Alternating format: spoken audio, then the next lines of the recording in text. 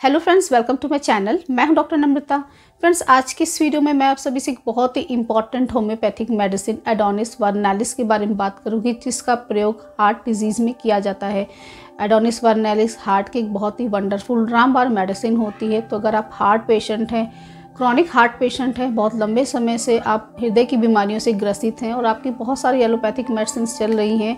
आपको हृदय संबंधित बीमारियाँ हैं, जैसे कि अगर आपको कार्डाइटिस की परेशानी है या फिर आपकी मिट्रल वॉल मिस्टिनोसिस हो गई है बॉलर इनसफिशेंसी है रिगर्गिटेशन की प्रॉब्लम है या फिर अगर आपको एंडोकार्डाइटिस की प्रॉब्लम है आपके हृदय की मसल्स बहुत ज़्यादा कमज़ोर हो गई हैं, उसमें सूजन हो गई है, उसमें पानी भर गया है, आपको एंजाइना की परेशानी है, आपका ब्लड प्रेशर बढ़ा हुआ रहता है, आपकी पल्स रेगुलर रहती है। आज की इस वीडियो में मैं आप सभी से एडोनिस परनालिस होम्योपैथिक मेडिसिन के बारे में बात करूँगी। इसका प्रयोग आपको कैसे करना है किन किन लक्षणों पे आप इस दवा का प्रयोग कर सकते हैं, इसको कितनी पोटेंसी में हम लें कि जिससे कि हमारे लिए बहुत ही अच्छा रिज़ल्ट दे करके जाएगी और इसको इसको कितने दिनों तक लेना है और इस दवा का क्या कोई साइड इफ़ेक्ट है हार्ट पेशेंट के अलावा क्या नॉर्मल लोग भी इस दवा का सेवन कर सकते हैं? तो ये वीडियो बहुत ही ज़्यादा इन्फॉर्मेटिव है और इंटरेस्टिंग भी है तो वीडियो को पूरा एंड तक ज़रूर देखें। तो चलिए वीडियो को शुरू कर लेते हैं।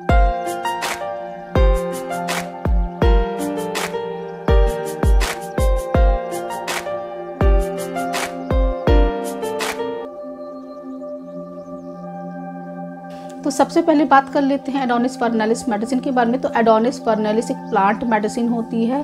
पेड़ से इसको बनाया जाता है और इसके जो फ्लावर होते हैं वो येलो करके फ्लावरिंग प्लांट होता है जो कि अफ्रीका में और एशिया की कंट्रीज़ में बहुत ही ज़्यादा मिलता है और एक वाइल्ड प्लांट होता है, जंगली पौधा होता है जिसके फूलों से, टहनियों से और पत्तियों से इस दवा का, दवा को बनाया जाता है और इसके बहुत ही अच्छे अमेजिंग रिज़ल्ट देखने को मिलते हैं।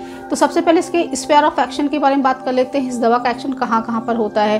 तो ये जो एडोनिस वर्नालिस मेडिसिन होती है, इसका जो एक्शन होता है, वो हमारे हार्ट पे होता है, हमारे सर्कुलेशन पे होता है, हमारे ब्लड वेसल्स पे होता है, हमारी आर्टरीज पे वेन्स पे एरोटा पे होता है।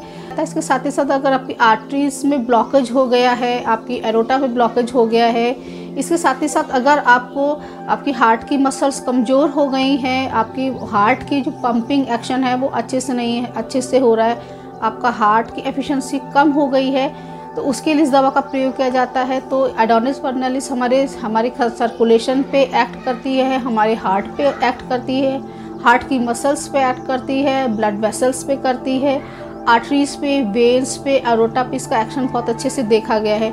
तो अब बात कर लेते हैं इस मेडिसिन के बारे में कि इसको हम कैसे प्रयोग कर सकते हैं क्या क्या इंडिकेशन होता है किन किन बीमारियों में इस दवा का प्रयोग कर सकते हैं। तो सबसे पहले जितनी भी कॉम्प्लिकेटेड हार्ट डिज़ीज़ होती जैसे कि मायोकार्डाइटिस एंडोकार्डाइटिस जिसमें हमारी हृदय की जो मसल्स होती हैं, जो लेयर होती है, उसमें इन्फेक्शन हो जाता है इन्फ्लामेशन हो जाता है, ऐसी कंडीशन में इसका प्रयोग किया जाता है।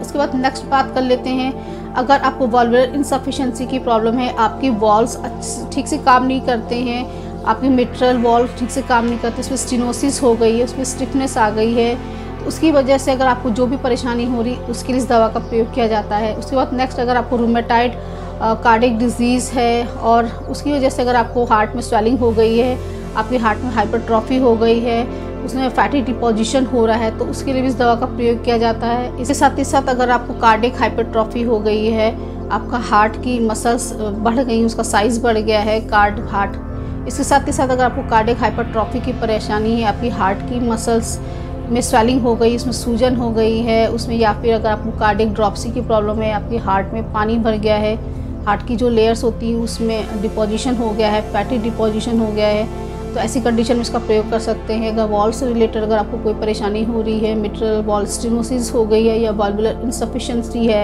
मिट्रल वॉल रिगर्गिटेशन जैसी कंडीशन है, उसमें आप इस मेडिसिन का प्रयोग कर सकते हैं। तो अब बात कर लेते हैं इसके लक्षणों के बारे में, किस तरीके के लक्षण हमारी स्टडी में देखने को मिलेंगे, जिसमें से आप दवा का प्रयोग कर सकते हैं। तो सबसे पहले अगर आपको कार्डिक डिस्निया की परेशानी है कार्डिक अस्थमा की प्रॉब्लम है, जैसे कि अगर आपको हार्ट की वजह से अगर आपको सांस लेने में बहुत ज़्यादा परेशानी होती है, आपको सांस ठीक से नहीं आती, आपकी चेस्ट में पेन होता है तो ऐसे कंडीशन में आप इस मेडिसिन का प्रयोग कर सकते हैं। इसके साथ ही साथ अगर आपको पैल्पिटेशन की परेशानी है, आपको बहुत ज़्यादा घबराहट होती है, आपकी पल्स इरेगुलर रहती है तो ऐसी कंडीशन में आप इसका प्रयोग कर सकते हैं। इसके साथ ही साथ अगर आपको हाइपरटेंशन की परेशानी है, आपका ब्लड प्रेशर बढ़ा हुआ रहता है तो ऐसे में आप इस दवा का प्रयोग कर सकते हैं। इसके साथ ही साथ अगर आपको लो बीपी की परेशानी है, आपका ब्लड प्रेशर लो रहता है, तब भी आप इस दवा का प्रयोग कर सकते हैं। इसके साथ ही साथ अगर आपको बहुत ज़्यादा एनजाइटी रहती है, घबराहट रहती है, चलते वक्त आपकी बहुत ज़्यादा सांस फूलती है और आपका जो हार्ट है वो अच्छे से ठीक से फ़ंक्शन नहीं करता है तो ऐसे में इस दवा का प्रयोग कर सकते हैं। आपको बहुत ही अच्छे इसके रिज़ल्ट देखने को मिलेंगे। इसके साथ ही साथ अगर आपको नींद ठीक से नहीं आती है, बहुत ज़्यादा घबराहट, बेचैनी होती है तो ऐसे में आप इस दवा का प्रयोग कर सकते हैं। कार्डिक वर्नालिस जो होती है, इसका एक्शन हमारे हार्ट की मसल्स पे होता है। अगर आपका हार्ट बहुत ज़्यादा कमज़ोर है और आप चाहते हैं अपने हार्ट को टोन अप करना चाह रहे हैं, उसकी मांसपेशियों को आप मज़बूत बनाना चाह रहे हैं तो ऐसे में इस दवा का प्रयोग करते हैं तो ये हमारी हार्ट की मसल्स को बहुत ज़्यादा मजबूती प्रदान करती है। इसके साथ ही साथ हार्ट से रिलेटेड अगर आपको कोई भी प्रॉब्लम है, कोई भी कॉम्प्लिकेटेड हार्ट डिज़ीज़ है आपकी और साथ में आपकी अगर एलोपैथिक मेडिसिन चल रही है तो अगर आप चाह रहे हैं कि अगर इस दवा का प्रयोग करना तो आप डेफिनेटली इस दवा का प्रयोग कर सकते हैं अपने एलोपैथिक मेडिसिन के साथ में। और ये भी देखा गया है कि इस दवा का लगातार प्रयोग करने से बहुत सारी हार्ट की जो कॉम्प्लिकेटेड बीमारियाँ होती हैं जो इनक्योरेबल होती हैं, उस तक उस इनक्योरेबल बीमारियों को भी ये दवा ठीक करने की क्षमता रखती है। बहुत सारे केसेस पूरी तरीके से 100 परसेंट ठीक किए गए हैं। तो ऐसे में अगर आपको हार्ट में ब्लॉकेज हो गया है, आपकी नसों में ब्लॉकेज हो गया है, आपको अगर कार्डियक अरेस्ट हुआ है हार्ट अटैक की अगर आपको कभी हिस्ट्री रही है, आपको चेस्ट पेन की चेस्ट पेन की समस्या रह चुकी है तो ऐसे में आप इस दवा का प्रयोग कर सकते हैं। इस दवा का प्रयोग करने से हमारी हार्ट की जो मसल्स होती हैं, वो बहुत ज़्यादा मज़बूत हो जाती हैं और ये हमारी हार्ट मसल्स को टोनअप करता है। साथ ही साथ हमारे ब्लड सर्कुलेशन को भी इम्प्रूव करता है। तो ऐसे में आप इस दवा का प्रयोग कर सकते हैं। तो अब बात कर लेते हैं इसकी डोजेज और उसकी पोटेंसी के बारे में। तो एडोनिस बारनालिस को आप जितनी लोअर पोटेंसी में प्रयोग करते हैं, उसके उसका रिज़ल्ट बहुत ही अच्छा देखा गया है। तो आपको मैं सजेस्ट करूँगी कि आप इसको मदर टिंचर फॉर्म में लें। तो एडोनिस वर्नालिस का मदर टिंचर आपको प्रयोग करना है। अगर आपको एडोनिस वर्नालिस का मदर टिंचर नहीं मिलता है तो आप सिक्स सी में या थर्टी सी में भी प्रयोग कर सकते हैं। ये दवा का जितनी ज़्यादा लोअर पोटेंसी में आप अगर लेते हैं तो उसका एक्शन बहुत ही अच्छे से होता है और बहुत ही ज़्यादा सेफ़ होता है कोई भी साइड इफ़ेक्ट नहीं होता है। तो बात कर लेते इसको लेना कैसे। तो अगर आप एडोनिस वर्नालिस का मदर टिंचर लेते हैं तो एक चौथाई कप पानी में आपको पंद्रह बूंद सुबह दोपहर शाम लेनी है, खाना खाने के आधे घंटे पहले।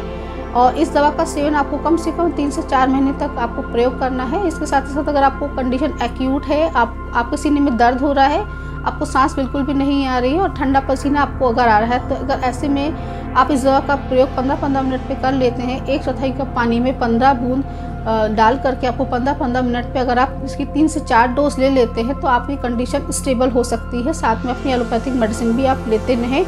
अब बात कर लेते हैं, अगर आपको थर्टी सी में लेनी है तो एडोनिस थर्टी की दो दो बूंद को दिन में तीन से चार बार आपको प्रयोग करना है। इस दवा का प्रयोग आप दो से तीन महीने तक कर सकते हैं। इस दवा का कोई भी साइड इफ़ेक्ट नहीं होता है। इस मेडिसिन के बहुत ही अच्छे अमेजिंग रिज़ल्ट देखे गए हैं। काफ़ी सारे पेशेंट को इस मेडिसिन से रिलीफ मिला है और जिन लोग, जिन पेशेंट को वॉलुलर इनसफिशेंसी रहती है या फिर उनके वॉल्स ख़राब हो गए हैं डॉक्टर ने ऑपरेशन बताया है सर्जरी बताई है तो ऐसे तक के केसेस भी ठीक किए गए इस मेडिसिन के। तो आप इस दवा का सेवन करिए, साथ में आपकी जो भी एलोपैथिक मेडिसिन चल रही हैं, आप उसको भी लेते रहें और हो सके तो आप किसी भी होम्योपैथिक डॉक्टर से ज़रूर परामर्श करें। अपने साथ ही साथ अगर आप चाहें तो किसी होम्योपैथिक डॉक्टर से कंसल्ट करके भी इस दवा का प्रयोग कर सकते हैं। आपके लिए बहुत ही अच्छा होगा। तो फ्रेंड्स, आज की वीडियो में बस इतना ही। आशा करती हूँ ये वीडियो आप सभी को पसंद आया होगा। वीडियो पसंद आया हो तो वीडियो को लाइक करिए फिर चैनल को सब्सक्राइब करके बेल आइकन को ज़रूर प्रेस कर लें, जिससे कि जब भी मैं इस तरह की यूज़फुल वीडियो अपलोड करूँ तो उसकी नोटिफिकेशन आपको मिलती रहे। So thanks for watching see in the next video